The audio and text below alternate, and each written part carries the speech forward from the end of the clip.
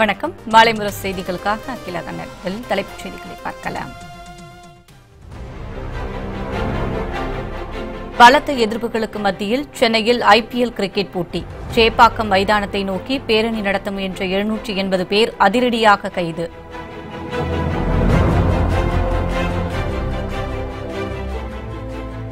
காவிரி மேலாண்மை வாரியம் அமைக்காத மத்திய அரசை கண்டித்து தமிழகத்தில் தொடரும் ஆர்ப்பாட்டம். போராட்டத்தில் ஈடுபட்டவர்கள் மீது போலீசார் தடியடி நடத்தியதற்கு ஸ்டாலின் கண்டனம்.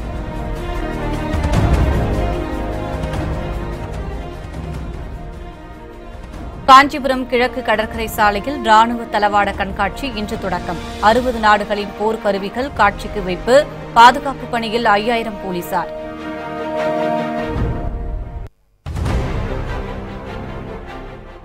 ஐஏஎஸ் அதிகாரிகள் பத்து பேரை பணியிட மாற்றம் செய்து தமிழக அரசு உத்தரவு. முதலமைச்சரின் தனிப்பிரிவு சிறப்பு அதிகாரியாக பாஸ்கர பாண்டியன் நியமனம்.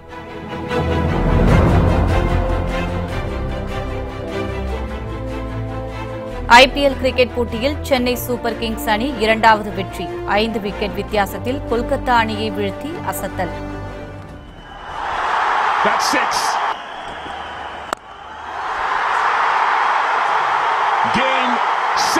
Has finally knocked one over the boundary. They were all over it. IPL cricket போட்டி நடத்துவதற்கு எதிர்ப்பு தெரிவித்து போராட்டத்தில் ஈடுபட்ட எழுநூறுக்கும் மேற்பட்டோர் கைது செய்யப்பட்டனர். காவிரி மேலாண்மை வாரியம் அமைக்காத மத்திய அரசை கண்டித்து தமிழகம் முழுவதும் போராட்டங்கள் வலுத்து வருகிறது. போராட்டத்தை திசை திருப்பவே சென்னையில் ஐபிஎல் கிரிக்கெட் போட்டி நடத்தப்படுவதாக குற்றச்சாட்டு எழுந்தது. எனவே ஐபிஎல் கிரிக்கெட் போட்டி நடத்துவதற்கு எதிர்ப்பு தெரிவித்து பல்வேறு அமைப்பினர் மற்றும் கட்சியினர் ஒரே நேரத்தில் போராட்டத்தில் குதித்தனர். சேப்பாக்கம் மைதானத்தை சுற்றி போராட்டக்காரர்கள் முழக்கங்களை எழுப்பியும் தங்கள் அமைப்புகளின் கொடிகளை ஏந்தியும் ஆர்ப்பாட்டத்தில் ஈடுபட்டனர். போராட்டத்தில் ஈடுபட்ட எழுநூறுக்கும் மேற்பட்டவர்கள் கைது செய்யப்பட்டனர்.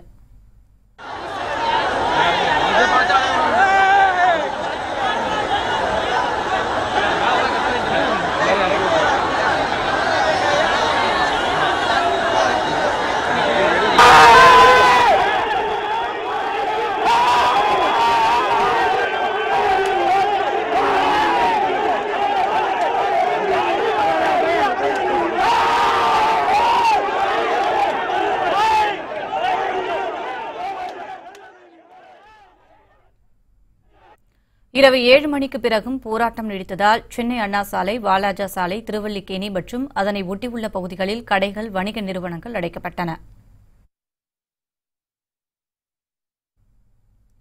அறவழி போராட்டத்தில் ஈடுபட்டவர்கள் மீது போலீசார் தடியடி நடத்தியதற்கு திமுக செயல் தலைவர் மு ஸ்டாலின் கண்டனம் தெரிவித்துள்ளாா் காவிரி மேலாண்மை வாரியம் அமைக்காத வரை ஐபிஎல் கிரிக்கெட் போட்டிகள் நடத்தக்கூடாது என வலியுறுத்தி சென்னையில் போராட்டம் நடைபெற்றது. போராட்ட களத்தில் இயக்குநர் பாரதி ராஜா கவிஞர் வைரமுத்து இயக்குநர் கௌதமன் சீமான் தமிமுன் அன்சாரி தனியரசு உள்ளிட்டோரும் பங்கேற்றனர். தமிழர் வாழ்வுரிமை கட்சி முக்குளத்தூர் புலிப்படை எஸ்டிபிஏ கட்சியின் ஆதரவாளர்களும் பேரணியாக அணிவகுத்து வந்தனர். அவர்களை போலீசார் தடுத்து நிறுத்தியபோது தள்ளுமுள்ளு ஏற்பட்டது. சேப்பாக்கம் மைதானத்திற்கு செல்ல முயன்ற இயக்குநர்கள் அமீர் கௌதவன் மற்றும் தமிமுன் அன்சாரி உள்ளிட்டோரை போலீசார் கைது செய்தனர். போராட்டம்! நிறுத்திடு நிறுத்திடு!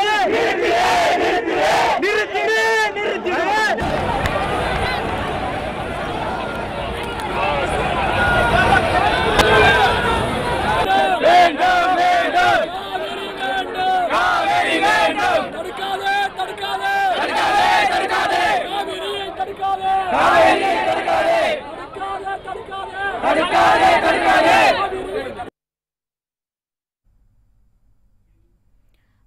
கிரிக்கெட் போட்டி நடக்கும்போது சேப்பாக்கம் மைதானத்திற்குள் நாம் தமிழர் கட்சியினர் காலனி வீசியதால் பரபரப்பு ஏற்பட்டது. அவர்களை போலீசார் கைது செய்தனர். இதேபோன்று மத்திய அரசுக்கு எதிராக முழக்கங்களை எழுப்பிய பல்வேறு அரசியல் கட்சியினர் உடனடியாக கைது செய்து அப்புறப்படுத்தினர்.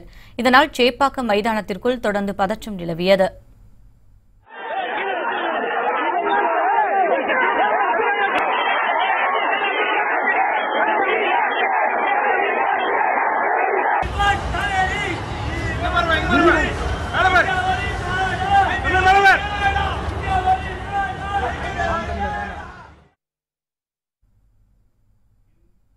இதனிடையே அறவழி போராட்டத்தில் ஈடுபட்டவர்கள் மீது தடியடி நடத்திய போலீசுக்கு மு க ஸ்டாலின் கண்டனம் தெரிவித்துள்ளார். இயக்குநர்கள் பாரதி ராஜா அமீர் ராம் வி. சேகர் தங்கர் பச்சான் உள்ளிட்டோர் கைது செய்ததற்கும் அவர் கண்டனம் தெரிவித்தார். கிழக்கு கடற்கரை சாலையில் ராணுவ தளவாட கண்காட்சி இன்று தொடங்குவதையொட்டி பாதுகாப்பு ஏற்பாடுகள் பலப்படுத்தப்பட்டுள்ளன. ராணுவ தளவாட கண்காட்சி காஞ்சிபுரம் மாவட்டம் திருவிடந்தையில் இன்று தொடங்கி பதினான்காம் தேதி வரை நடைபெறுகிறது. இந்த கண்காட்சியில் அமெரிக்கா கனடா ஜப்பான் உள்ளிட்ட அறுபது நாடுகளின் அதிநவீன போர்க்கருவிகள் காட்சிக்கு வைக்கப்பட்டுள்ளன. பிரதமர் மோடி பனிரெண்டாம் தேதி ராணுவ கண்காட்சியை பார்வையிடுகிறார். கண்காட்சி நடைபெறுவதையொட்டி கிழக்கு கடற்கரை சாலையில் போக்குவரத்து மாற்றம் செய்யப்பட்டுள்ளது. பாதுகாப்பு பணியில் ஐயாயிரம் போலீசார் ஈடுபட்டுள்ளனர். பாதுகாப்புத்துறை அமைச்சர் நிர்மலா சீதாராமன் இணையமைச்சர் சுபாஷ் பாம்ரோ ராணுவ தளபதி பிபின் ராவத் உள்ளிட்ட உயர் அதிகாரிகள் கலந்து கொள்கின்றனர்.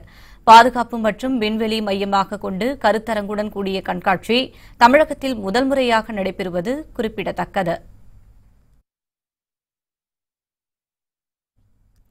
ஐஏஎஸ் அதிகாரிகள் பத்து பேரை பணியிடம் மாற்றம் செய்து தமிழக அரசு உத்தரவிட்டுள்ளது.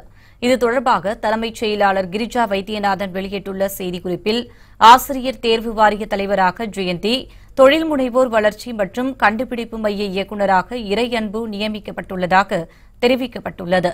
பொருளாதாரம் புள்ளியியல் துணை ஆணையராக அசோக் டோங்ரே ஆதிதிராவிடர் பழங்குடியினர் நலத்துறை துணை செயலாளராக செந்தாமரை ஐஏஎஸ் நியமிக்கப்பட்டுள்ளதாகவும் அதில் குறிப்பிடப்பட்டுள்ளது. முதலமைச்சரின் தனிப்பிரிவு சிறப்பு அதிகாரியாக பாஸ்கர பாண்டியனும் எல்காட் மேலாண்மை இயக்குநராக விஜயகுமார் மற்றும் ஊரக வளர்ச்சித்துறை சிஇஓவாக கார்த்திகா நியமனம் செய்யப்பட்டுள்ளதாகவும் தமிழக அரசு தெரிவித்துள்ளது.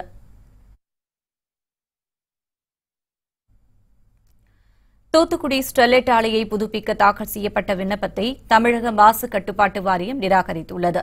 தூத்துக்குடியில் செயல்பட்டு வரும் ஸ்டெர்லைட் ஆலையால் சுற்றுச்சூழலுக்கும் பொதுமக்களுக்கும் கேடுகள் ஏற்படுவதாக கூறப்படுகிறது. இதனால் ஆலை விரிவாக்க நடவடிக்கையை அரசு கைவிட்டு ஆலையை மூடக்கோரி குமரெட்டியாபுரம் கிராம மக்கள் போராட்டம் நடத்தி வருகின்றனர். இந்த போராட்டத்திற்கு பல்வேறு கட்சியினரும் ஆதரவு தெரிவித்து வருகின்றனர். இந்த நிலையில் ஸ்டெர்லைட் ஆலையை புதுப்பிக்க அனுமதி கேட்டு அந்நிறுவனம் விண்ணப்பம் தாக்கல் செய்திருந்தது. இந்த விண்ணப்பத்தை தமிழக மாசு கட்டுப்பாட்டு வாரியம் நிராகரித்துள்ளது. விண்ணப்பம் நிராகரிக்கப்பட்டதால் பராமரிப்பு பணிகள் மேலும் பதினைந்து நாட்களுக்கு தொடரும் என ஸ்டெர்லைட் ஆலை நிர்வாகம் அறிவித்துள்ளது. மேலும் ஸ்டெர்லைட் உருக்காலை அலகு ஒன்றை தொடர்ந்து நடத்த மாசு கட்டுப்பாட்டு வாரியம் அனுமதி மறுத்துள்ளது.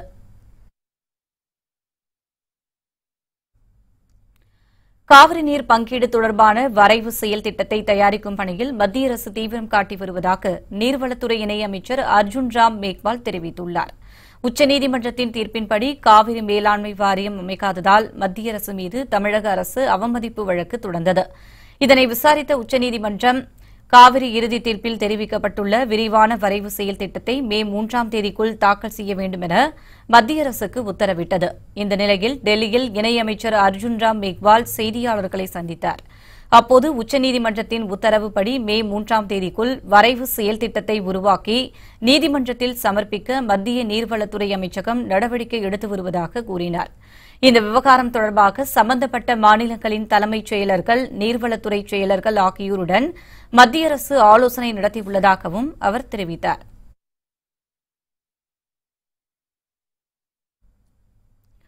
ஐஆர்என் எஸ்எஸ் ஒன்னை செயற்கைக்கோளுடன் PSLV V C forty rocket நாளை காலை விண்ணில் சீறி பாய்கிறது. பேரிடர் மேலாண்மை கடல்சார் கண்காணிப்பு சாலை போக்குவரத்து மற்றும் வான்வெளி போக்குவரத்தை ஒழுங்குபடுத்துவது உள்ளிட்ட முக்கிய தகவல்களை பரிமாறிக்கொள்வதற்காக ஐஆர்என் எஸ்எஸ் ஒன்னை செயற்கைக்கோளை இஸ்ரோ தயாரித்துள்ளது. ஆயிரத்தி நானூற்று இருபத்தி ஐந்து கிலோ எடை கொண்ட இந்த செயற்கைக்கோளுடன் PSLV V C forty one rocket நாளை காலை நான்கு நான்கு மணிக்கு விண்ணில் சீரிப்பாய உள்ளது இதற்கான முப்பத்தி இரண்டு மணி நேர கவுண்டவுன் நேற்று துவங்கியது. ஆந்திர மாநிலம் ஸ்ரீஹரிகோட்டா ஏவுதளத்தில் இருந்து விண்ணில் ஏவப்படும் ஐஆர்என் எஸ்எஸ் ஒன்ஐ செயற்கைக்கோளின் ஆயுள் காலம் பத்து ஆண்டுகள் என்பது குறிப்பிடத்தக்கது.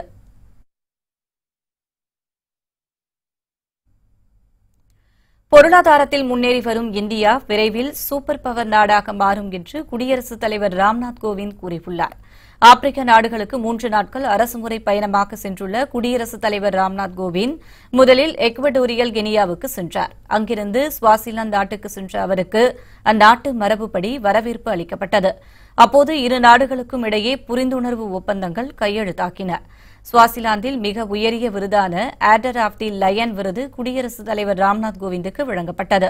இதனைத் தொடர்ந்து ஜாம்பியா நாட்டிற்கு சென்ற ராம்நாத் கோவிந்த் லுசாகா நகரில் இந்தியர்கள் ஏற்பாடு செய்திருந்த நிகழ்ச்சியில் கலந்து கொண்டார். அப்போது பேசிய அவர் தற்போதைய சூழ்நிலையில் இந்தியா பொருளாதாரத்தில் வேகமாக வளர்ந்து வருகிறது. இதே நிலை தொடர்ந்து நீடித்தால் நிச்சயமாக பொருளாதாரத்தில் இந்தியா சூப்பர் பவர் நாடாக விளங்கும் என்று உறுதிபட கூறினார்.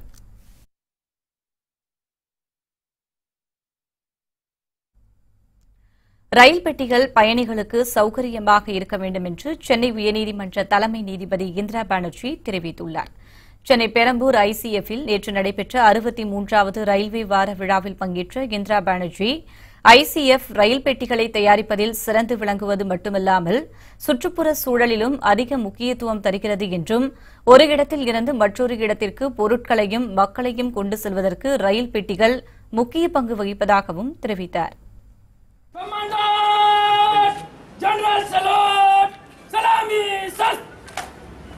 Excuse me.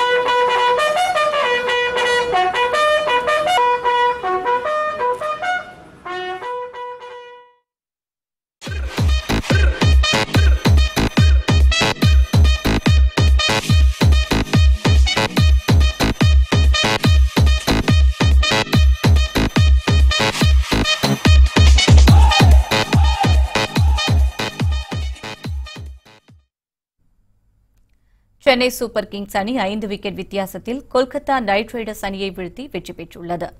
Chennai Chepauk M A Chidambaram ஸ்டேடியத்தில் Chennai super kings Kolkata knight riders அணிகள் மோதின.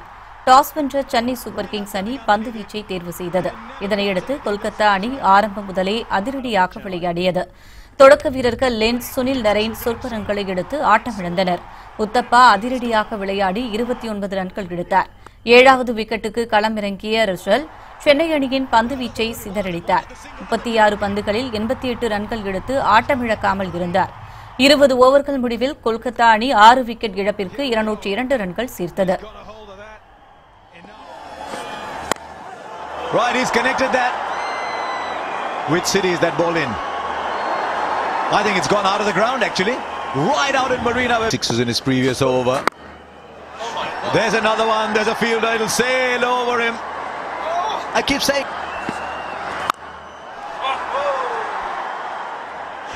Tell you what, that's almost gone where the other one was in the sand, but he's down on the ground.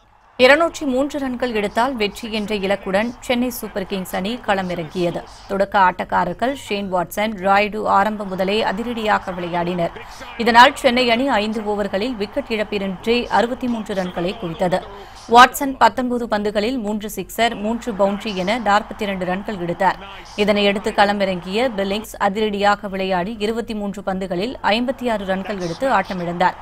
கடைசி ஒரு பந்தில் ஜடேஜா சிக்சர் அடித்ததால் ஐந்து wicket வித்தியாசத்தில் இருநூற்றி ஐந்து ரன்கள் எடுத்து சென்னை சூப்பர் கிங்ஸ் அணி வெற்றி பெற்றது.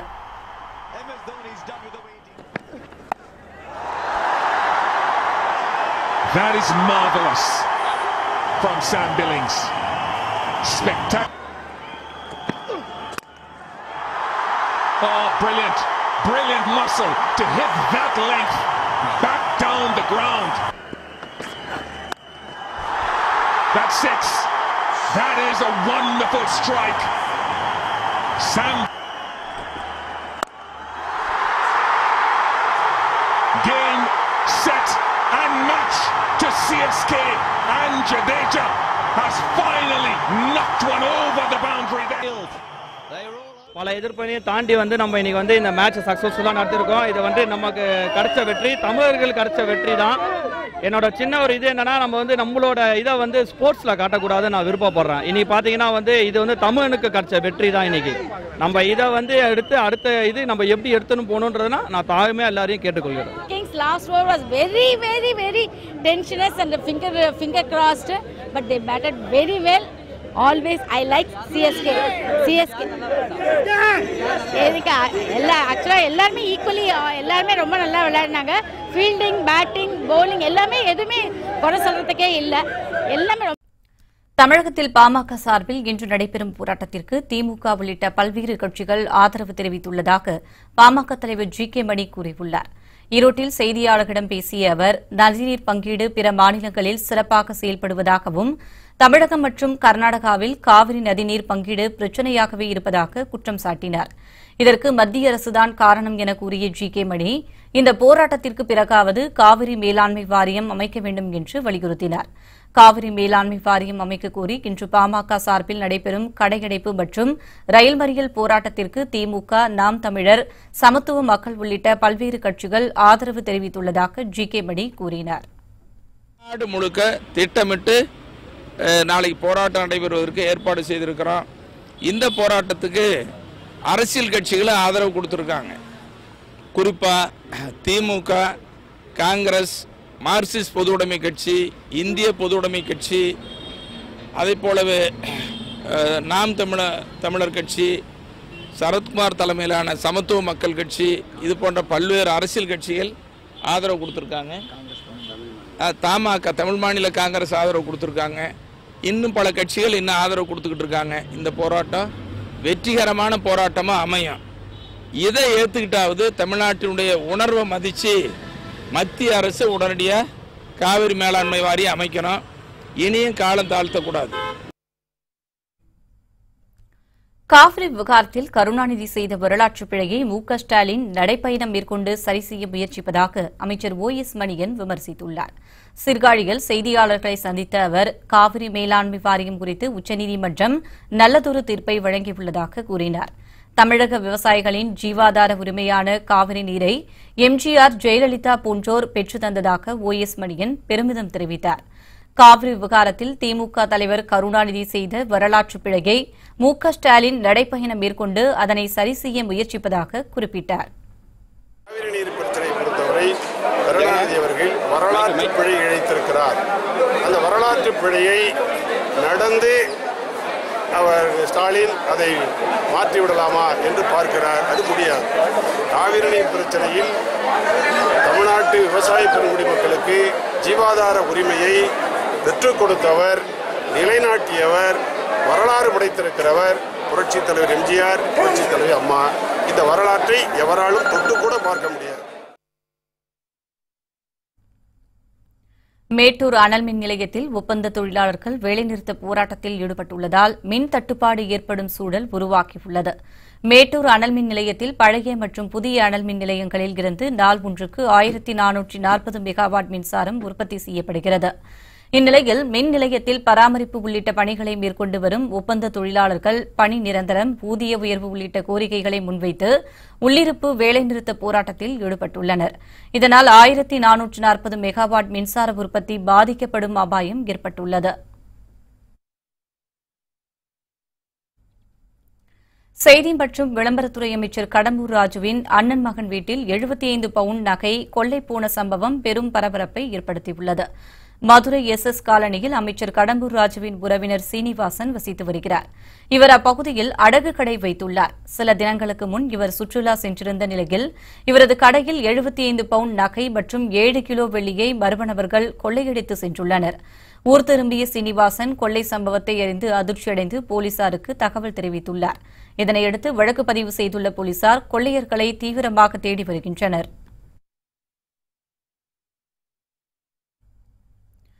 பொள்ளாச்சி அருகே சிறுமிகளுக்கு பாலியல் தொல்லை அளித்த சிறுவர்கள் மூன்று பேர் கைது செய்யப்பட்டு சிறுவர் சீர்திருத்த பள்ளிக்கு கொண்டு செல்லப்பட்டனர். சீனிவாசபுரம் ஊராட்சி ஒன்றிய நடுநிலைப் பள்ளியில் கடந்த சில நாட்களுக்கு முன் நல்வாழ்வுத்துறை சார்பில் மருத்துவ முகாம் நடைபெற்றது. அப்போது நடைபெற்ற மருத்துவ சோதனையின் போது பத்து வயதுக்குட்பட்ட சிறுமிகள் மூவருக்கு பாலியல் தவறு நடைபெற்றதற்கான அறிகுறிகள் தென்பட்டுள்ளது. இதனால் அதிர்ச்சியடைந்த மருத்துவர்கள் குழந்தைகள் பாதுகாப்பு அமைப்பிற்கு தகவல் தெரிவித்துள்ளனா் இதனையடுத்து சிறுமிகளிடம் நடத்தப்பட்ட விசாரணையில் அதே பகுதியைச் சேர்ந்த மூன்று சிறுவர்கள் சிறுமிகளிடம் பாலியல் தவறில் ஈடுபட்டது தெரியவந்துள்ளது. இதனையடுத்து மூன்று சிறுவர்களையும் கைது செய்த போலீசார் நீதிமன்றத்தில் அவர்களை ஆஜர்படுத்திய பின் சிறுவர் சீர்திருத்த பள்ளியில் சேர்த்தனர்.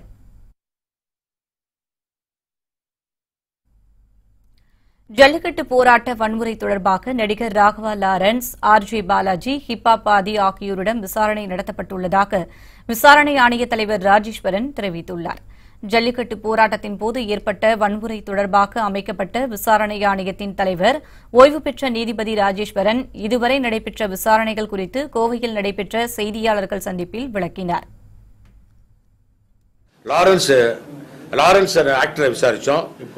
இப்காப் தமிழா? விசாரிச்சோம். ஹாரின்னு ஒரு ஆக்டர் விசாரிச்சிருக்கோம். ஆதி பாலாஜி ஆர்ஜே பாலாஜி விசாரிச்சிட்டோம். அதெல்லாம் மெட்ராஸ் வச்சுட்டோம் லாஸ்டா விசாரிச்சது இந்த மிஸ்டர் லாரன்ஸ். அவர் பேர் என்ன? ராகவேந்திர லாரன்ஸ். அவரும் வந்து விசாரிச்சிட்டோம். ஆக்டிங் சைடில் யாரும் இருக்க மாட்டாங்க தெரியல. பட் எங்களுக்கு அதான் சொல்லினேன் வர வர யாராவது பேர் சொன்னாங்கன்னா அவங்கள கூப்பிட வேண்டியிருக்கு. இப்போ நமக்கு தெரிய மாட்டேங்குது.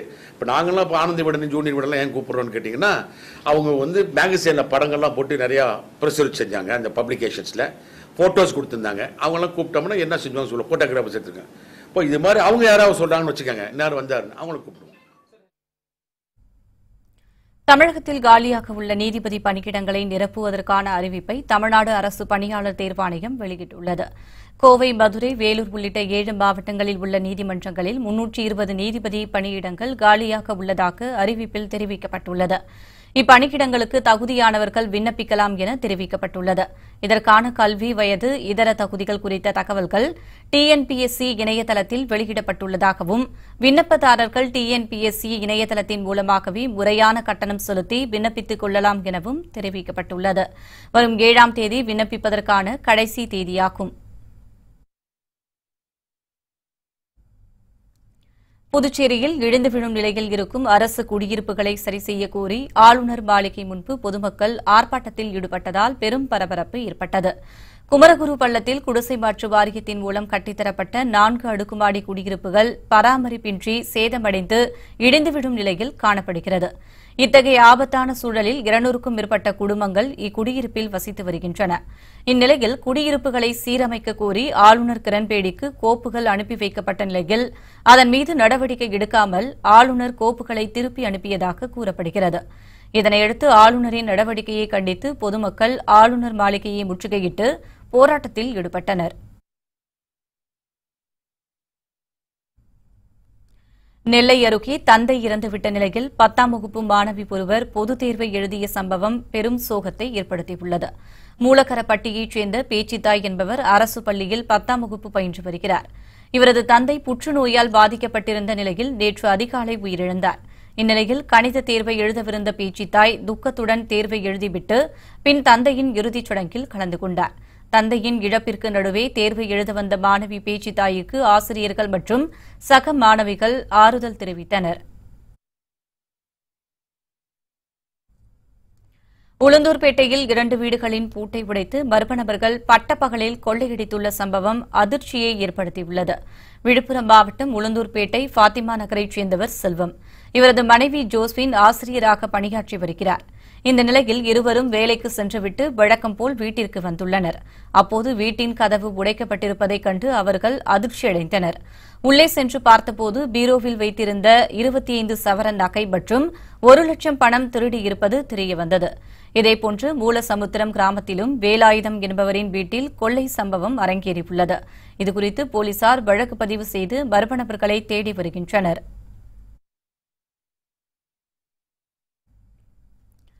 கடலில் மீன்பிடித்துக் கொண்டிருந்த மீனவர் படகில் இருந்து தவறி விழுந்து கடலில் மூழ்கி பலியான சம்பவம் பெரும் சோகத்தை ஏற்படுத்தியுள்ளது. ராமநாதபுரத்தை ஒட்டிய தேவிப்பட்டினம் கடற்கரையில் இருந்து கடலுக்கு மீன்பிடிக்க சென்ற மீனவர் நடராஜன் கடலில் வீசப்பட்டிருந்த வலையை இழுக்கும்போது எதிர்பாராத விதமாக படகில் இருந்து தவறி கடலுக்குள் விழுந்தார். இதனையடுத்து கடல் அலைகளால் இழுத்து செல்லப்பட்ட அவர் மூச்சு திணறி பரிதாபமாக உயிரிழந்தார். இதனையடுத்து சக மீனவர்கள் அவரது உடலை மீட்டு கரை சேர்த்தனா் என்பவர் காலையில் மூன்றரை மணிக்கு கடலுக்கு போனார். கடலுக்கு போனவங்க போட்டு மொத்தம்தான் கிடந்ததாக தகவல் தெரிவித்தாங்க அதோட எல்லோரும் நாங்கள் ஒரு நாலஞ்சு போட்டில் தேடி போனோம். மீனவர்கள்லாம் தேடி போனோன்னே போட்டு வந்து பாதி வலையும் பாதி வலை தண்ணியில் இருந்துச்சு. போ போட்டில் பாதி வலை இருந்துச்சு. அப்புறம் கீழே இறங்கி தேடி பார்த்தோன்னே அந்த போட்டுக்கு அருகிலேயே இறந்து கிடந்தார். அதோட மீனவர்கள் ஏற்றி ஏற்றிட்டு வந்து கரையை கொண்டு வந்துட்டோம் நாங்கள் திருவள்ளூர் அருகே வீட்டின் பூட்டை உடைத்து பத்து சவரன் தங்க நகை மற்றும் ஒரு லட்சம் ரூபாய் பணத்தை மர்ம நபர்கள் கொள்ளையடித்து சென்ற சம்பவம் பெரும் பரபரப்பை ஏற்படுத்தியுள்ளது. நியூ டவுன் பகுதியில் வசித்து வரும் அமுல்ராஜ் என்பவர் உறவினர் வீட்டு நிகழ்ச்சிக்காக குடும்பத்தினருடன் வெளியூர் சென்றுள்ளார். பின்னர் வீடு திரும்பிய போது வீட்டின் பூட்டு உடைக்கப்பட்டு வீட்டு பீரோவில் இருந்த பத்து சவரன் தங்க நகை மற்றும் ஒரு லட்சம் ரூபாய் பணம் கொள்ளையடிக்கப்பட்டிருந்தது தெரியவந்துள்ளது. இதனால் அதிர்ச்சியடைந்த அமுல்ராஜ் போலீசாருக்கு தகவல் தெரிவித்துள்ளார். இதனையடுத்து கொள்ளை சம்பவம் குறித்து வழக்கு பதிவு செய்துள்ள போலீசார் கைரேகை நிபுணர்களின் உதவியுடன் கொள்ளையர்களை தீவிரமாக தேடி வருகின்றனர்.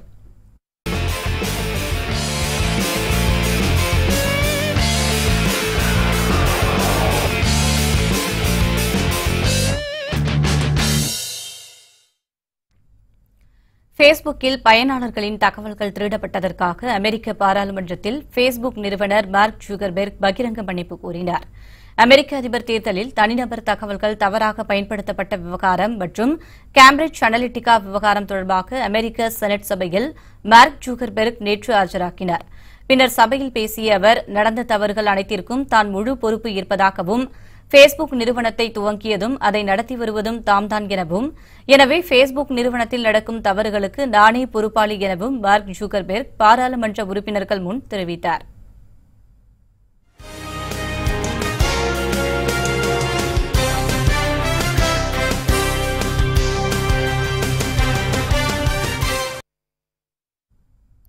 தமிழகத்தின் தென் மற்றும் கடலோர மாவட்டங்களில் இன்று லேசான அல்லது இடியுடன் கூடிய கனமழை பெய்ய வாய்ப்பிருக்கலாம் என்று வானிலை அறிக்கைகள் தெரிவிக்கின்றன. சென்னை சேலம் உள்ளிட்ட மாவட்டங்களில் பகல் நேரத்தில் ஓரளவு தெளிவான வானிலை காணப்படும் என்றும் மாலையில் மேகமூட்டத்துடன் இருக்கும் என்றும் வெயிலின் வெப்பநிலை அதிகபட்சமாக முப்பத்தி ஐந்து டிகிரி செல்சியஸ் வரையிலும் இருக்கும் என்றும் தெரிவிக்கப்பட்டுள்ளது. விழுப்புரம் திருச்சி மதுரை தஞ்சாவூர் உள்ளிட்ட மாவட்டங்களிலும் கடலூர் நாகப்பட்டினம் ராமநாதபுரம் தூத்துக்குடி கன்னியாகுமரி உள்ளிட்ட கடலோர மாவட்டங்களிலும் லேசான மழையோ அல்லது இடியுடன் கூடிய கனமழையோ இருக்கலாம் என தெரிவிக்கப்பட்டுள்ளது. நேற்று ராமநாதபுரம் மாவட்டத்தின் பெரும்பாலான பகுதிகளில் கனமழை பெய்தது. சாலைகளில் லேசான வெள்ளப்பெருக்கு காணப்பட்டது. புத்தம் புதிய செய்திகள் அவ்வப்போது முழுமையாக மாலை முரசு தொலைக்காட்சி வழங்கும். இணைந்திருங்கள் மாலை முரசு தொலைக்காட்சியுடன். வணக்கம்.